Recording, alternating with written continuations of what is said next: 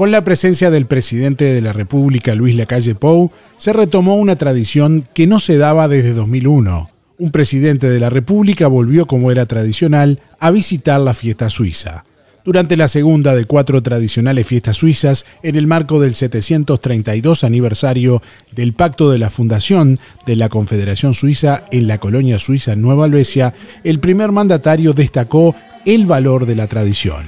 Agradecerle eh, en una sociedad progresista como es Colonia, progresista como es Nueva Albesia, que sigan nutriendo las raíces para que esa savia fluya en las ramas y que tenga nuevos y mejores frutos, porque al fin y al cabo, ¿de qué se trata el pasaje por nuestra vida?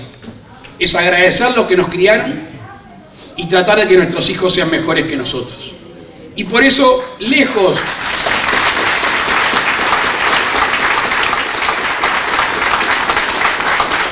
lejos de anteponer el pasado con el futuro, quienes nos paramos en el presente tenemos que agarrar las, de las dos manos.